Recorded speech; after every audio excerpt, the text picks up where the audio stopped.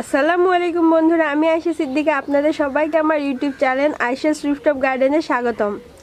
বন্ধুরা, আপনারা দেখতে পাচ্ছেন আমার ছাদ বাগানের একটা কাঁঠাল গাছে, দেখুন বন্ধুরা কত সুন্দরভাবে দুটো কাঁঠাল ধরে, ধরেছে।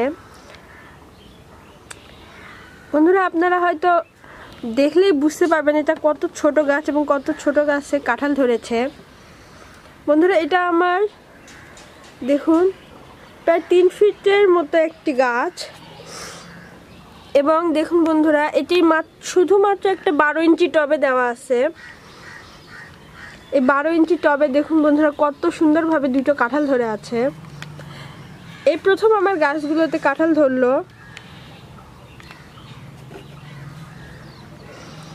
এই কাঁঠাল, এই কাঁঠালের গাছটি আমি প্রায় দুই বছর হলো এনে লাগিয়েছি। গাছটি অনেক ছোট ছিল।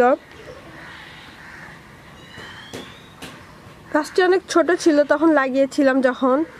দেখুন, এই দুই বছরের গাছটি কত বড় হয়ে গিয়েছে এবং কত নতুন নতুন পাতা বের হচ্ছে, নতুন নতুন ডাল বের হচ্ছে। গাছটি অনেক সতেজ আছে বন্ধুরা, আপনারা নিশ্চয়ই দেখতে পাচ্ছেন। এত ছোট গাছে কাঁঠাল ধরবে আমি কখনো ভাবতেই পারিনি। এটা একটি কলম করা কাঁঠালের গাছ। এই গাছটি যখন আমি লাগিয়েছিলাম তখন আমি এতে শুধুমাত্র পঞ্চাশ ভাগ মাটি আর পঞ্চাশ ভাগ গোবর সার দিয়ে আমি গাছটি গাছটি লাগিয়েছিলাম। এ শুধুমাত্র প্রতি বছর একবার করে আমি গাছের গোড়ার মাটিটা হালকা তিন চার ইঞ্চি খুঁড়ে ওই মাটিগুলো বাহির করে আবার নতুন গোবর মাটি দিয়ে দিয়েছিলাম। শুধু এইটুকুই করেছিলাম বন্ধুরা। দেখুন, প্রথমবার আমার গাছে কোনো কাঁঠাল ধরেনি। আমি ভাব, আমিও ভাবিনি যে এত তাড়াতাড়ি কাঁঠাল ধরবে। আমি ভাবছিলাম হয়তো আরও তিন চার বছর লাগতে পারে। এই কাঁঠাল টিকবে কি টিকবে না সেটা আমি জানি না। তবে বন্ধুরা, ছাদ বাগানে যে কাঁঠাল ধরবে এটা আমি কখনোই ভাবিনি।